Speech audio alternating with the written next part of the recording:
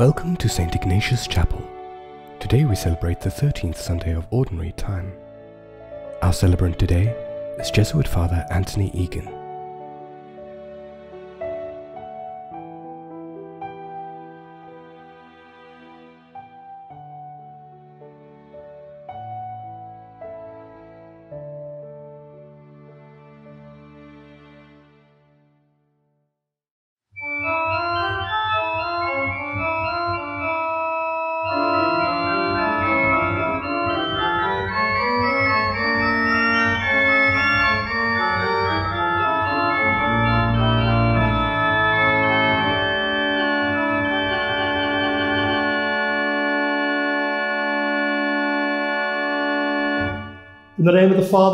The Son, and of the Holy Spirit, Amen. the Lord be with you. And with your spirit. Today, on this 13th Sunday of the Church's year, we gather together, knowing that we are sinners yet loved by God. And so we have the courage to ask God for forgiveness. I confess To Almighty God, and to you, my brothers and sisters, that I have greatly sinned in my thoughts and in my words, in what I have done and in what I have failed to do, through my fault, through my fault, through my most grievous fault. Therefore I ask Blessed Mary, the Virgin, all the angels and saints, and you, my brothers and sisters, to pray for me to the Lord our God. May Almighty God have mercy on us, forgive us our sins, and bring us life everlasting. Amen. Lord, have mercy. Lord, have mercy. Christ, have mercy. Christ, have mercy. Lord, have mercy. Lord, have mercy. Glory to God in the highest. And on earth, peace to people of good will. We praise you, we bless you, we adore you, we glorify you. We give you thanks for your great glory. Lord God, heavenly King, O God, almighty Father, Lord Jesus Christ, only begotten Son, Lord God, Lamb of God, Son of the Father, you take away the sins of the world, have mercy on us. You take away the sins of the world, receive our prayer. You are seated at the right hand of the Father, have mercy on us. For you alone are the Holy One, you alone are the Lord, you alone are the Most High, Jesus Christ, with the Holy Spirit, in the glory of God the Father. Amen. Let us pray. O God, who through the grace of adoption chose us to be children of light, grant, we pray, that we may not be wrapped in the darkness of error, but always be seen to stand in the bright light of truth. Through our Lord Jesus Christ, your Son, who lives and reigns with you in the unity of the Holy Spirit, one God for ever and ever. Amen.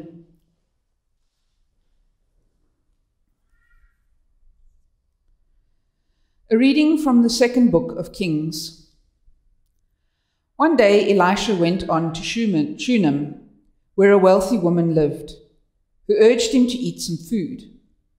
So whenever he passed that way, he would turn in there to eat food. And she said to her husband, Behold now, I perceive that this is a holy man of God who is continually passing our way. Let us make a small roof chamber with walls and put there for him a bed, a table, a chair, and a lamp, so that whenever he comes to us, he can go in there. One day he came there, and he turned into the chamber and rested there. And he said to Gehazi, his servant, What is to be done for her? Gehazi answered, Well, she has no son, and her husband is old. He said, Call her. And when he called her, she stood in the doorway, and he said, At this season, when the time comes round, you shall embrace a son. The word of the Lord. Thanks. Thanks be to God. The response to the psalm I will sing forever of your mercies, O Lord. I I will sing forever of your mercies, O Lord. I will sing forever of your mercies, O Lord. Through all ages, my mouth will proclaim your fidelity. I have declared your mercy is established forever. Your fidelity stands firm as the heavens. I will sing forever of your mercies, O Lord. How blessed the people who know your praise, who walk, O Lord, in the light of your face, who find their joy every day in your name, who make your justice their joyful acclaim. I will sing forever of your mercies, O Lord. For you are the glory of their strength. By your favor it is that our might is exalted. Behold, the Lord is our shield. He is the Holy One of Israel, our King. I will, I will sing, sing, forever, forever of your mercies, O Lord.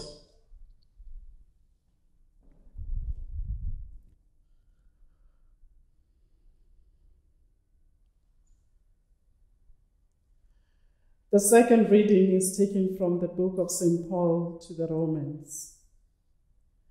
Brethren, all of us who have been baptized into Christ Jesus were baptized into his death. We were buried, therefore, with him by baptism into death, so that as Christ was raised from the dead by the glory of the Father, we too might walk in newness of life. But if we have died with Christ, we believe that we shall also live with him. For we know that Christ, being raised from the dead, will never die again. Death no longer has dominion over him. The death he died, he died to sin, once for all. But the life he lives, he lives to God. So you also must consider yourselves dead to sin and alive to God in Christ Jesus. The word of the Lord. Thanks, Thanks be to God.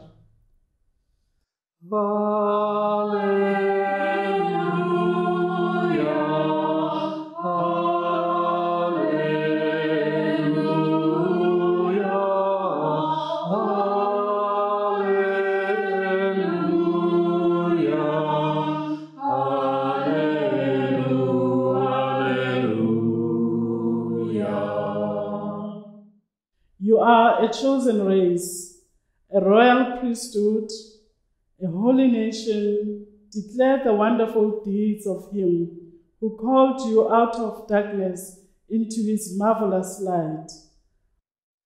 My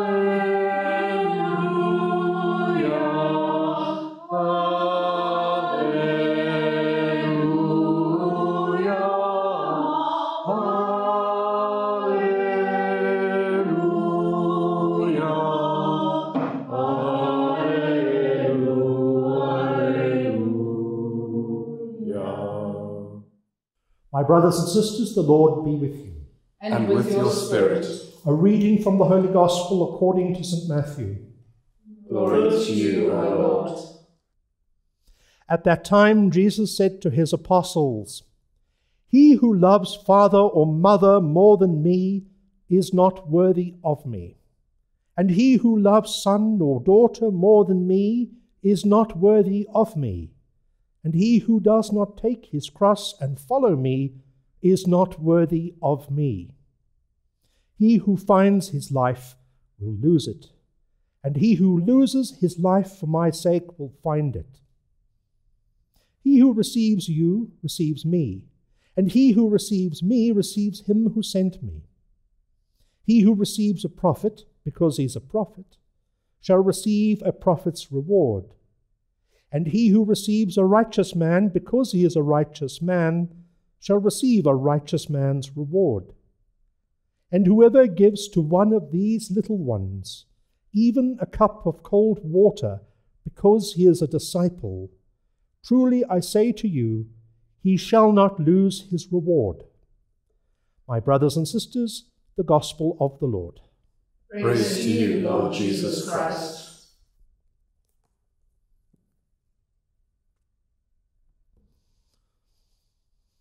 The call to discipleship is a call to paradox.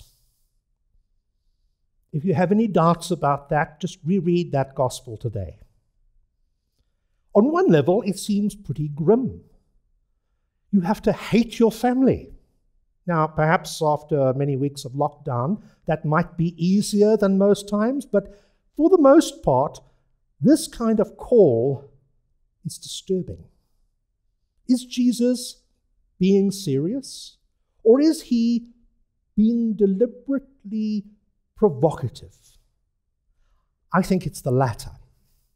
I think he's being deliberately provocative because he is taking an extreme situation and asking us to consider whether we would be his disciples in such an extreme situation. Where you have to make a choice a choice between family, between interests, between what you like, and the call to follow him. When we talk about the call to discipleship, what do we mean? The problem, I think, is that for 2,000 years, we have lived in a situation where discipleship has changed. It used to be being a member of a marginal sect who were living against the dominant way of thinking of the world they lived in, the Roman Empire. Then, of course, the church became the Roman Empire. And suddenly we all became part of the establishment. And discipleship became easy. So easy, perhaps, that somewhere we lost our way, perhaps. What's it mean to be a disciple today? To take up one's cross. Well, what is our cross? The cross of being a member of the church, perhaps. Particularly if we imagine that we could be much happier outside of the church. Perhaps if being a member of the church makes us complacent. Notice there are two options. The one is about self interest, the other may actually be a deeper call to discipleship a call to challenge what we see as undermining the very call of discipleship that Jesus gives us. What does it mean also to be rewarded? Do we do things because we are promised goods? Well, if that's the case, perhaps many of us are disciples because we are investing in a life after death insurance, perhaps. But let's look at the examples of reward that Jesus talks about in today's reading. A prophet's reward. What's that mean? Well, the reward of the prophet is twofold. The reward of the prophet, positively, is knowledge of the will of God. A knowledge that is reached not by easy means, but often by a deep searching for God's will in his or her life. And the other reward is suffering. If you read the stories of the prophets in the Old Testament, most of them come to very unhappy ends. Most of them are rejected by the world around them. Most of them suffer persecution. And some even are killed. Now, perhaps today, in a world where the church is still very much part of the establishment, even if it may not have the kind of influence it had a few centuries ago, we may not imagine that that will happen to us. But what happens when we ask the Lord to help us to see where we as church can be truly prophetic? Where we ask the Lord to help us to speak up in areas where the church needs to change, to grow, to renew itself, to be less in tune with the established order that has co opted it into its establishment. How many of us, I wonder, worry when we see public figures latching onto the church, latching on to religion as a way of justifying their political agenda. And how often, perhaps, does the church not latch on to public figures as a way to get their agenda across? We may need to do that sometime, and maybe there are people outside the church that we must work with. But at the end of the day, what are we about?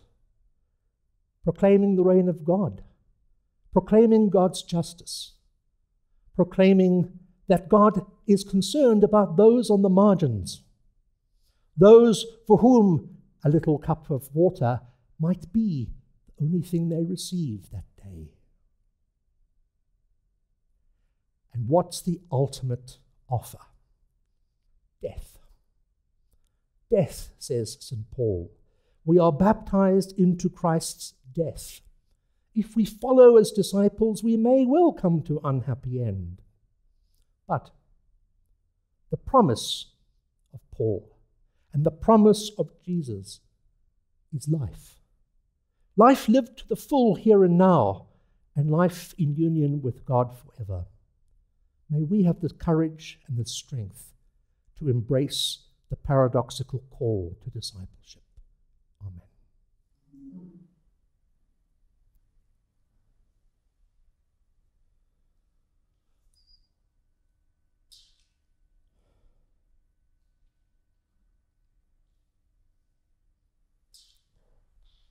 Let us then together profess our faith that we share with Christians past, present, and future. I believe in one God, the Father Almighty, maker of heaven and earth, of all things visible and invisible. I believe in one Lord Jesus Christ, the only begotten Son of God, born of the Father before all ages, God from God, light from light, true God from true God, begotten, not made, consubstantial with the Father. Through him all things were made. For us and for our salvation, he came down from heaven, and by the Holy Spirit was incarnate of the Virgin Mary, and became man. For our sake he was crucified Pontius Pilate. He suffered death and was buried, and rose again on the third day, in accordance with the Scriptures. He ascended into heaven, and is seated at the right hand of the Father. He will come again in glory to judge the living and the dead, and his kingdom will have no end. I believe in the Holy Spirit, the Lord, the giver of life, who proceeds from the Father and the Son, who with the Father and the Son is adored and glorified, who has spoken through the prophets. I believe in one holy Catholic and Apostolic Church. I confess one baptism for the forgiveness of sins and I look forward to the resurrection of the dead and the life of the world to come. Amen. On this day, we bring before the Lord our prayers and petitions, our prayers that ask Him to help us to be better disciples.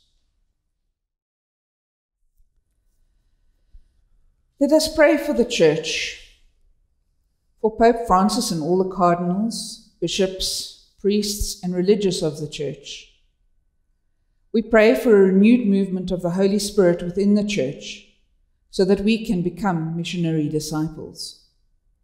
Lord, hear us. Lord, Lord graciously hear us. We pray for our country.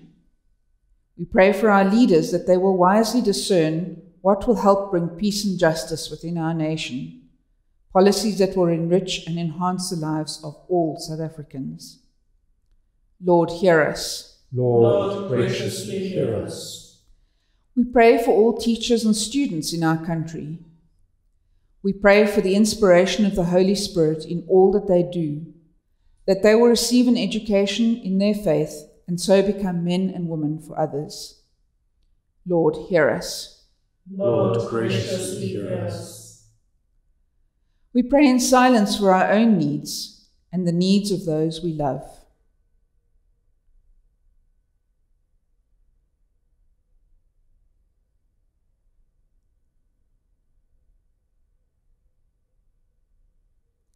Lord, hear us. Lord, Lord graciously hear us. We pray for those who are dying, for the deceased, the sick, lonely and heartbroken, and all who are suffering. We pray that they will find peace, healing, and comforting in the love of Jesus. We pray that those who have died will find everlasting joy in the Father's kingdom. Lord, hear us. Lord, Lord, graciously hear us. Loving God, we bring before you these prayers we have spoken. We also bring before you the prayers that we reached out to you from the very depth of our hearts. We make all these prayers in the name of Christ the Lord. Amen.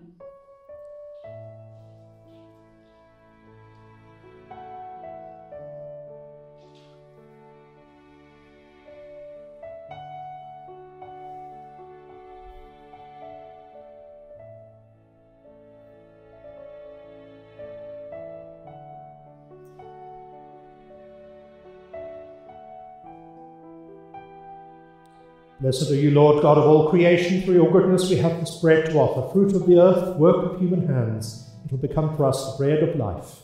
Blessed be God forever.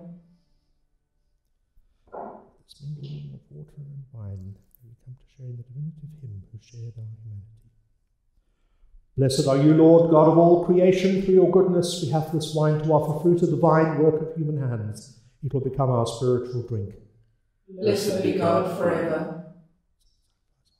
Lord, wash away my iniquities and cleanse me from my sins.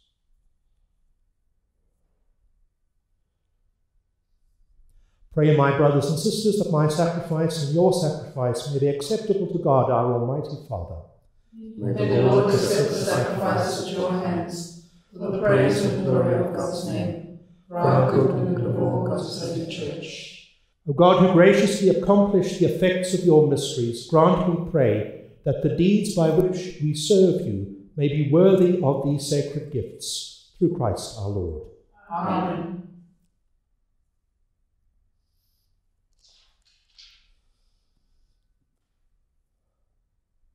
The Lord be with you.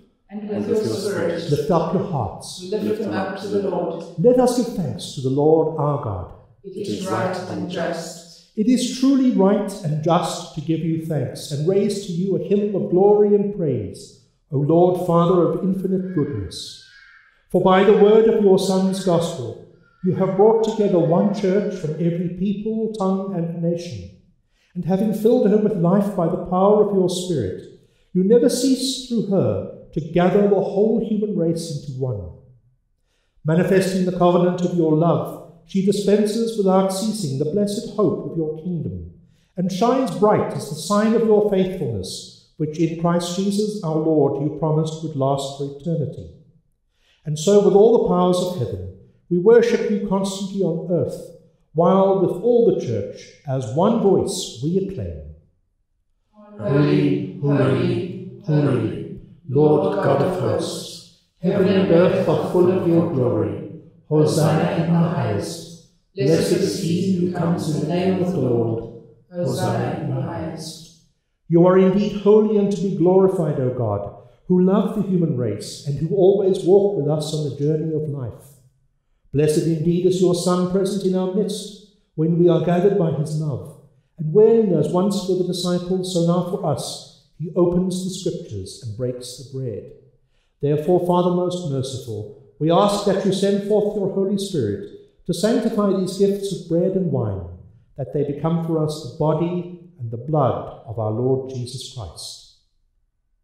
On the day before he was to suffer, on the night of the Last Supper, he took bread and said the blessing, broke the bread, and gave it to the disciples, saying, Take this, all of you, and eat of it, for this is my body which will be given up for you.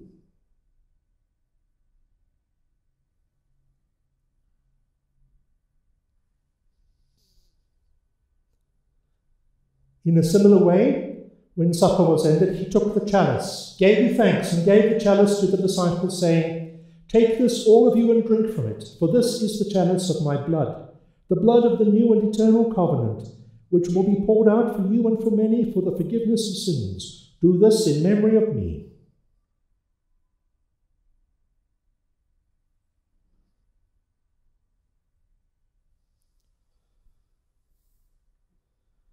The mystery of faith. We proclaim your death, O Lord, and profess your resurrection until you come again. Therefore, Holy Father, as we celebrate the memorial of Christ your Son, our Saviour, whom you led through his passion and death on the cross to the glory of the resurrection, and whom you have seated at your right hand. We proclaim the work of your love until he comes again, and we offer you the bread of life and the chalice of blessing. Look with favour on the oblation of your church, in which we show forth the paschal sacrifice of Christ that has been handed on to us. And grant that by the power of the Spirit of your love, we may be counted now and until the day of eternity among the members of your Son, in whose body and blood we have communion.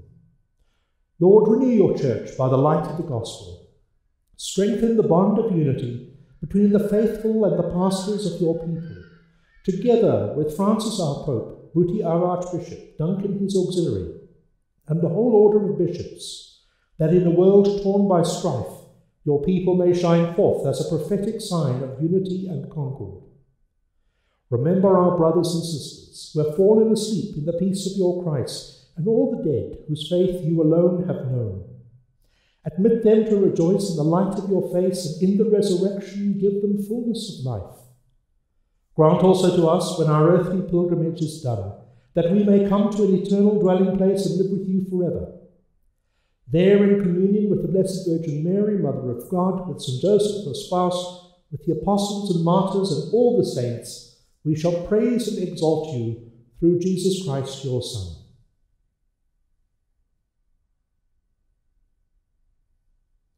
Through him, and with him, and in him, O God, Almighty Father, in the unity of the Holy Spirit, all glory and honour is yours for ever and ever.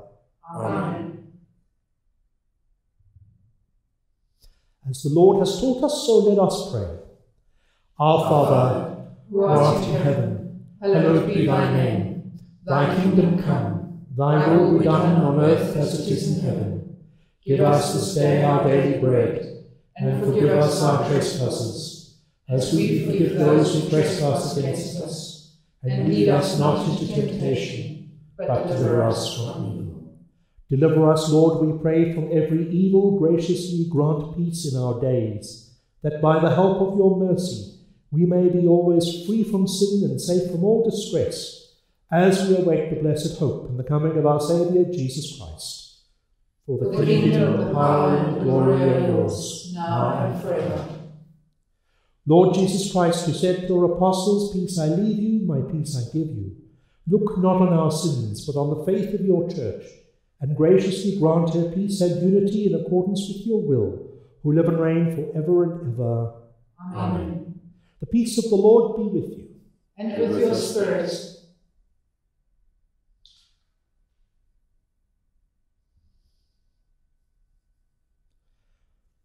Lamb of God, you take away the sins of the world, have mercy on us. Lamb of God, you take away the sins of the world, have mercy on us. Lamb of God, you take away the sins of the world, grant us peace. Behold, the Lamb of God. Behold him who takes away the sins of the world. Blessed are those called to the supper of the Lamb. Lord, I am not worthy that you should enter under my roof, but only say the word, and my soul shall be healed. May the body and the blood of Christ keep us safe for eternal life. Amen.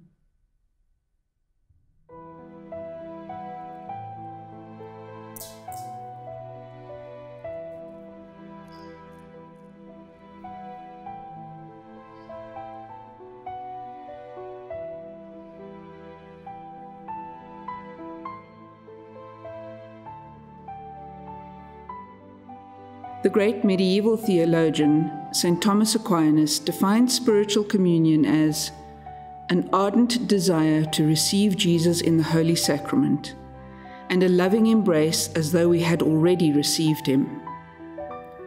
His words are echoed by the great mystic and fellow doctor of the Church, St. Teresa of Avila, who wrote, When you do not receive communion and do not attend Mass, you can make a spiritual communion which is a most beneficial practice. By it, the love of God will be greatly impressed on you. At this moment, we invite you to focus on Christ and your longing for union with Him. Express your desire to feel His grace coursing through you. giving you strength and courage, particularly in these difficult times. In your desiring union, you are united with us and to Christ. In this moment, we experience the reality that is already here.